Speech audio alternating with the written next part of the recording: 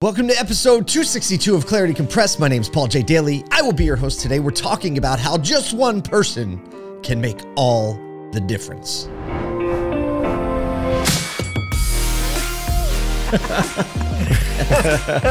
Let the good times roll. This is Clarity Compressed.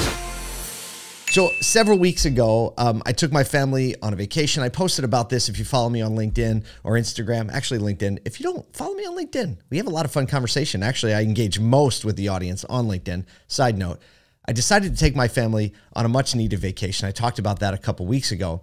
There was an experience on the way there that has been stuck in my head ever since.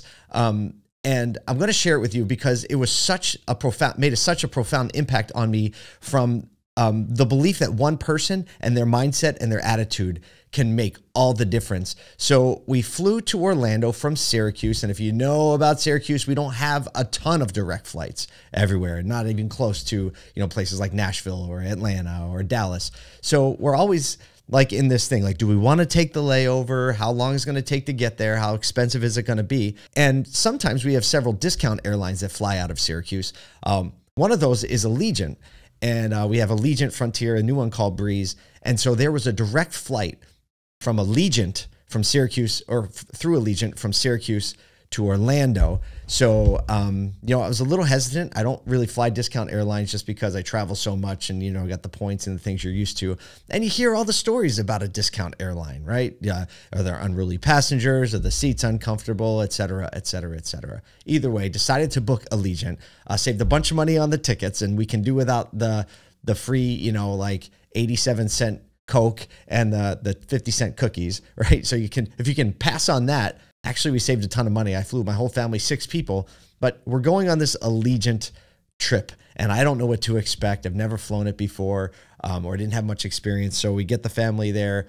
Check-in process was pretty no frills, but like they got it done. Get on the seats. The seats pretty comfortable. I mean, maybe a little different, a little a little less convenient maybe than a major airline, but not crazy.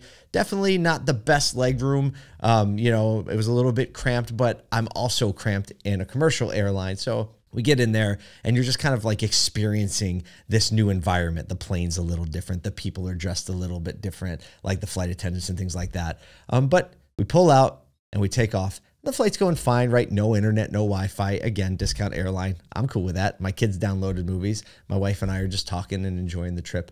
And we were about um, i don't know like 30 45 minutes away.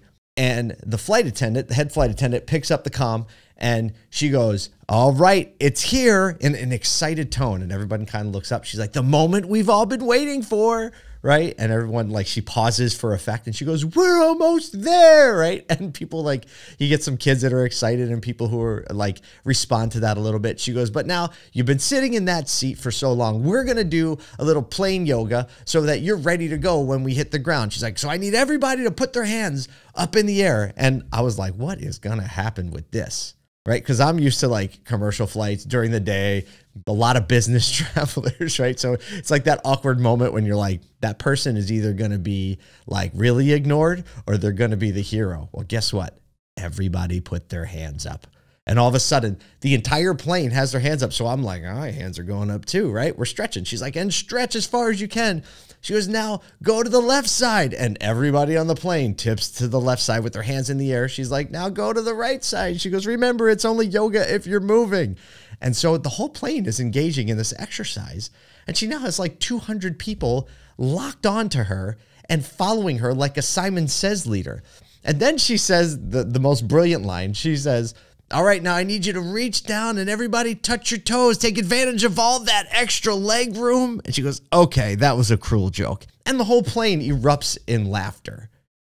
And I was just absolutely stunned and impacted. So she did the stretch thing. Everyone got done their laugh. She gave a few other instructions. They were prepared for boarding, like put your tray tables up and like, you know, initial descent, all of those things.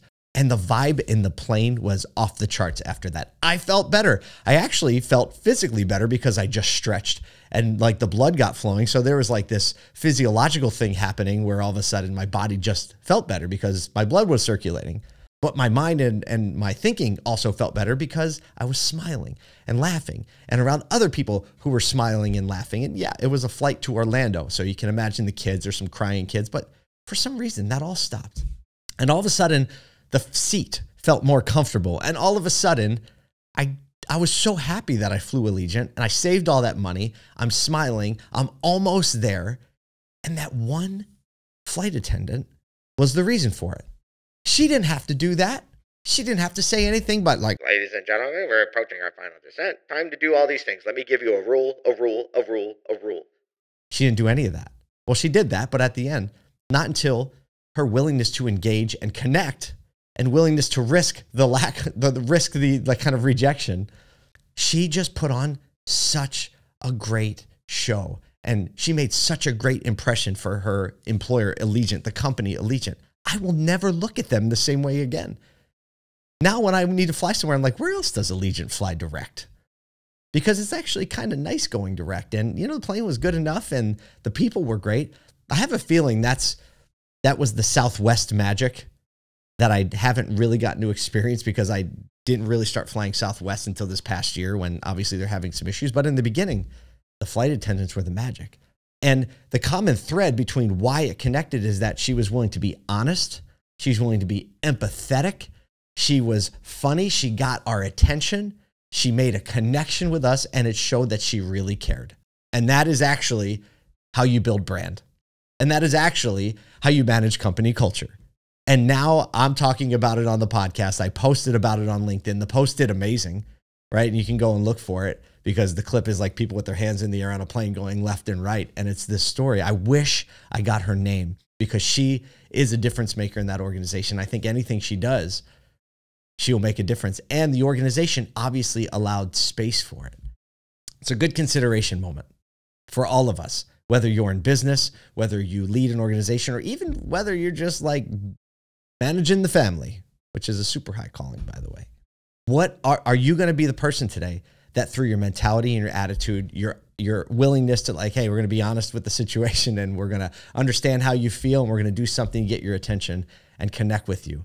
It was just a brilliant stroke of brand connection and personal connection that I had to talk about today because it was only words. She didn't have the fancy plane. She didn't have the free food. She didn't have the comfortable seats of the first class. She didn't have the fancy uniform. Like she didn't have all of those things.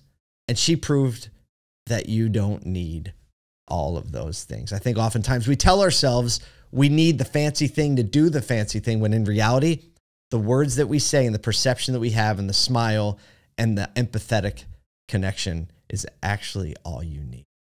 It's all you need. So I just wanted to talk about that one person who made a difference in my day and my perception and hopefully help make a difference in your day and your perception as well. And then you can go make a difference in somebody else's day and percent. You see where I'm going with this? That's the perspective. That's the clarity today. Thanks for spending some time with me. I will see you next week. We came to fight.